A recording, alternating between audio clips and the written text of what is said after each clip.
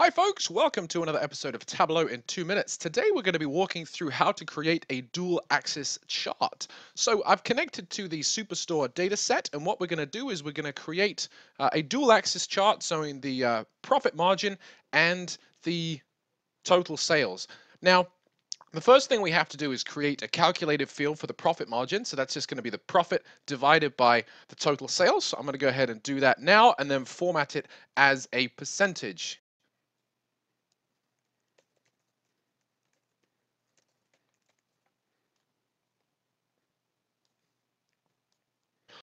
All right, now that we've done that, we can go ahead and start creating our graph. So the first thing we're going to do is we're going to look at this over time. So we're going to drag order date out to the rows shelf. Uh, we're going to drag quarter out, just open it out to quarter to give us a nice long bar chart there. And then we're going to drag sales out to the rows shelf. Now we have a nice bar graph showing sales over time. That's good. Now if we drag profit margin out there as well, you'll see we have a nice bar graph showing profit margin. Now, if we combine these two graphs, you can do that. Just click on this little triangle in the corner and then drag it up. You'll see that what happens is because the scales are so different, we have sales up here and we have profit margin down here, but profit margin is fractional compared to sales, right? So because it's so small, we don't really have any detail. So the way to do that, I'm just going to undo what I just did, putting them on the same thing by pressing Control Z there. What we can do is instead of dragging them up so they're on the same scale, we can click on the drop down arrow here, create a dual axis chart. And what this is going to do is it's going to create one column on, oh, sorry, one scale on the left hand side that shows sales and one on the right hand side that shows the profit margin. We can adjust these two independently. Um, if you have two measures, you can make them the same scale.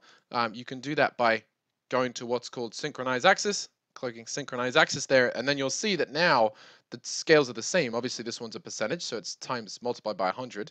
Um, but we have the same picture, right? So we have our sales up here, and then we have the profit margin down there. Again, I'm just going to control Z to undo that. Uh, and you can manipulate the two scales independently, as I said, or you can do them using the same, um, but that allows you to put two measures on the same shelf. You can control the colors using this uh, color palette here in just the same way that you would with uh, any other bar chart. Thank you very much for watching this episode. If you have any questions, please leave them in the comments. If you'd like a link to the data that we used in this video, then it is in the video description. And if you like what you're hearing, uh, then please subscribe to our channel, Tableau in two minutes, for more great Tableau tips and tricks. And we will see you next time.